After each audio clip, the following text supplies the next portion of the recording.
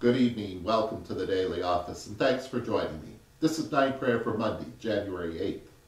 It's the first week after the Epiphany and week one in the Psalm cycle. And the scripture for this uh, service, uh, Psalm 4, and Ephesians chapter 1, verse 3 through 14. And now join me, please, in singing the third verse of Psalm 66 by Isaac Watts. Come see the wonders of our God. How glorious are your ways. In Moses' hand you put your rod and cleaves the frightened seas. Our help is in the name of God Most High, the maker of heaven and earth. Let us confess our sins to God.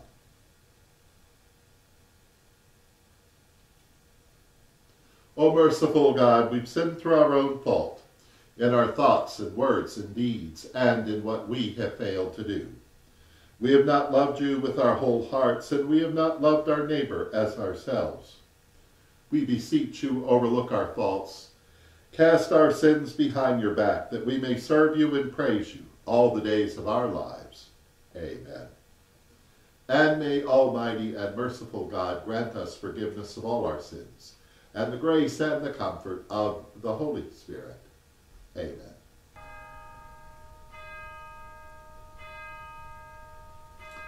O God, come to my assistance. Make haste to help me.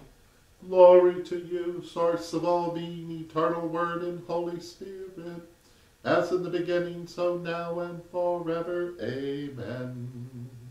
Hallelujah, hear me when I call, O God of righteousness. Hallelujah, Psalm 4. And please recite it with me.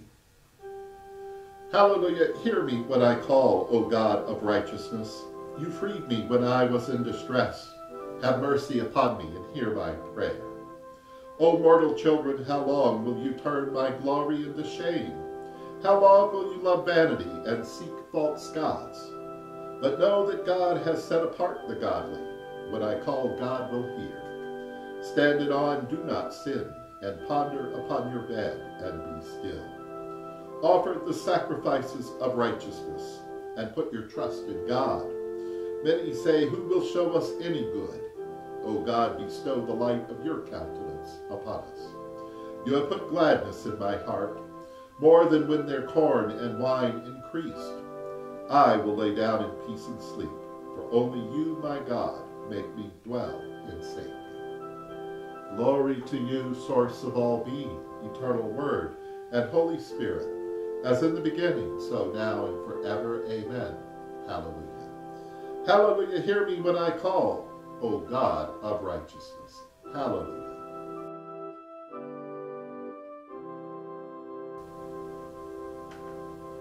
A reading from the letter of Paul to the Ephesians, chapter 1, beginning at verse 3. Blessed be the God and Father of our Lord Jesus Christ, who has blessed us in Christ with every spiritual blessing in the heavenly places just as he chose us in Christ before the foundation of the world, to be holy and blameless before him in love. He destined us for adoption as his children through Jesus Christ, according to the good pleasure of his will, to the praise of his glorious grace, that he freely bestowed on us in the beloved. In him we have redemption through his blood, the forgiveness of our trespasses, according to the riches of his grace that he lavished on us. With all wisdom and insight, he has made known to us the mystery of his will, according to his good pleasure that he set forth in Christ, as a plan for the fullness of time, to gather up all things in him, things in heaven and things on earth. In Christ we have also obtained an inheritance, having been destined according to the purpose of him who accomplishes all things according to his counsel and will. So that we who were the first to set our hope in Christ might live for the praise of his glory. In him you also, when you heard the word of truth, the gospel of your salvation, and had believed in him, were marked with the seal of the promised Holy Spirit. This is the pledge of our inheritance toward redemption as God's own people to the praise of his glory. Here ends the lesson.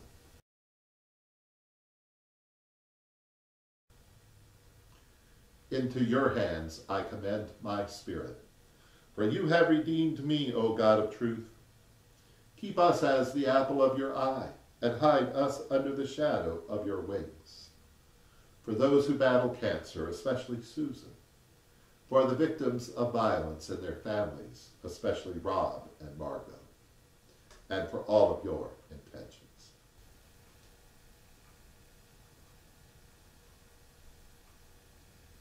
And now, in the words our Savior taught us, we are bold to say, Our beloved, which art in heaven, holy is your name.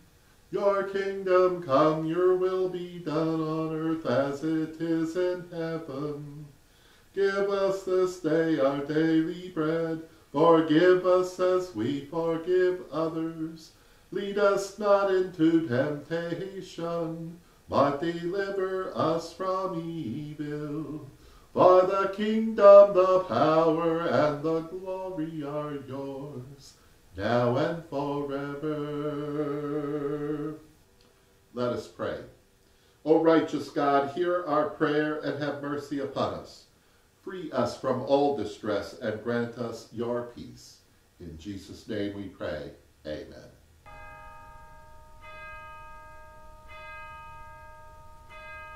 Bless Jesus, my soul.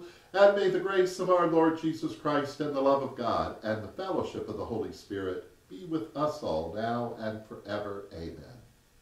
Hallelujah.